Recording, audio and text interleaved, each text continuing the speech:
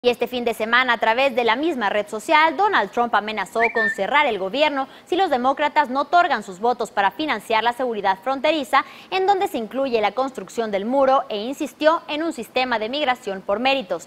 Este mes, los republicanos de la Cámara de Representantes publicaron un proyecto presupuestario que destina 5 mil millones de dólares para construir la valla para el 2019. El año del presupuesto federal termina el próximo 30 de septiembre y los legisladores pasarán gran parte de agosto en sus estados haciendo campaña rumbo a las elecciones de mitad de periodo programadas para noviembre. Y para hablar respecto a las implicaciones que podría tener para México, saludo con gusto a Raquel Saez, profesora de la Universidad Iberoamericana, especialista en política y medios de Estados Unidos. ¿Qué tal? Muy buenas noches, Raquel, cuéntanos. Hola, ¿qué tal, Elena? Muchas, muchas gracias por la invitación. Gracias a ti, Raquel. Trump amenaza otra vez al Capitolio con cerrar el gobierno si no hay recursos para la seguridad fronteriza. ¿Cómo tomar dicha amenaza?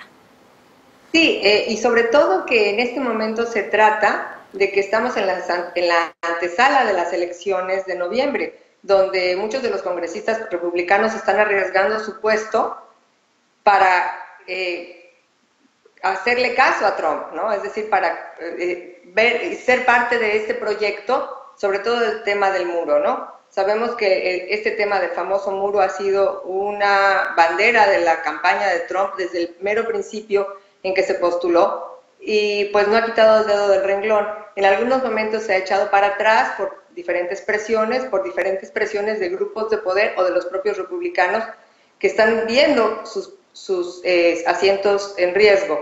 En este momento vemos que eh, parece que a Trump no, eso sigue sin importarle porque eh, el tema sigue en, pie y cerrar el gobierno es un tema muy eh, riesgoso para en, los, en, los, en las coyunturas políticas. Y cerrar el gobierno significa que también es un capricho por parte del presidente de Estados Unidos, sobre todo en este momento, porque en otros momentos cerrar el gobierno era, era vergonzoso para el presidente, porque se veía que no había podido eh, llegar a un consenso o negociar entre los diferentes partidos. Eh, en este momento se trata más que nada entre el presidente y el Congreso, porque estamos viendo a los republicanos que están siendo presionados por sus propios eh, constituyentes, es decir, la gente que, que, a los que van a representar ellos, y que lo que les interesa no es tanto los temas de seguridad de la frontera, sino los temas económicos. Y sabemos que una cosa interesante es que Toda la Cámara Baja se va a renovar en noviembre, es decir, se renueva o se reeligen, y es donde se llama cuentas a los, a los congresistas, y se renueva una tercera parte del Senado.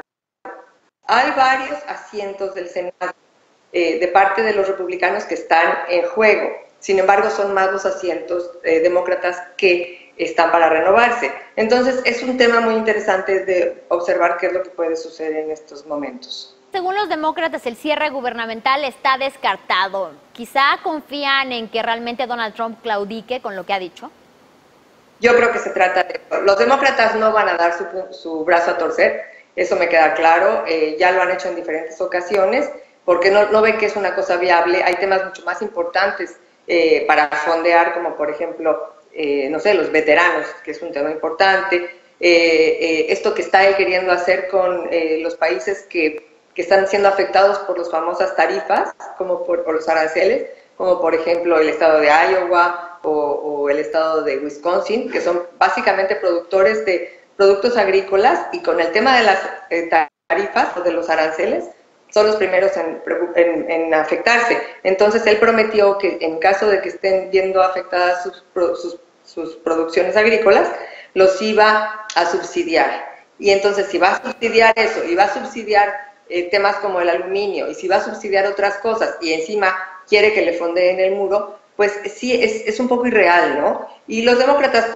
creo que van a quedar muy claros en esto, sobre todo porque viene también el tema de ver si le autorizan o le aprueban al juez para la Suprema Corte, que ese es otro tema. Ese es otro tema, claro que sí. Y además todo indica que Trump no piensa ceder en materia migratoria ni de seguridad.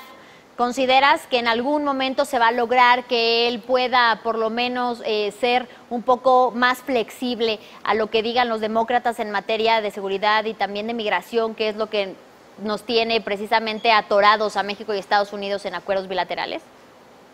Yo no creo que va a ceder con los demócratas.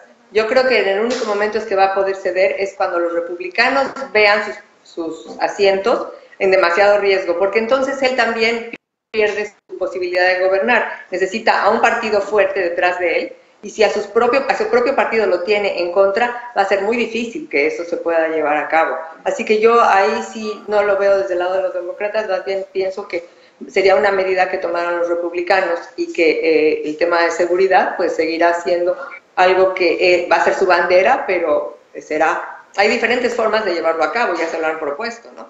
Entonces vamos a ver cómo reacciona ahora. Y en ese sentido podemos esperar que continúe entonces con su política de tolerancia cero y que además el muro finalmente sí se construya. Yo no creo que se vaya a llegar a fondear nunca el tema del muro. él va a seguir hablando de él porque tiene a una base de, electores que, sigue, que siguen haciéndole este eco y este coro.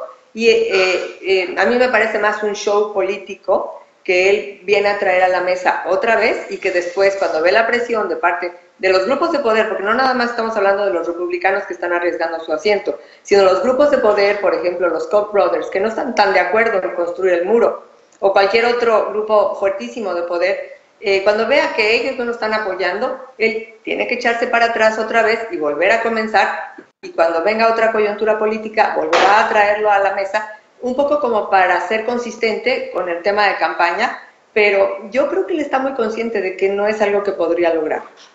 Bien, Raquel, te agradezco muchísimo por tu análisis. Por supuesto, también hablaremos más adelante de las expectativas que se pueden tener de cuando ya Andrés Manuel López Obrador suba a la presidencia, suba al poder y ver cómo se da, cómo se desenvuelve esta relación bilateral. Nuevamente, muchas gracias, Raquel, y buena noche.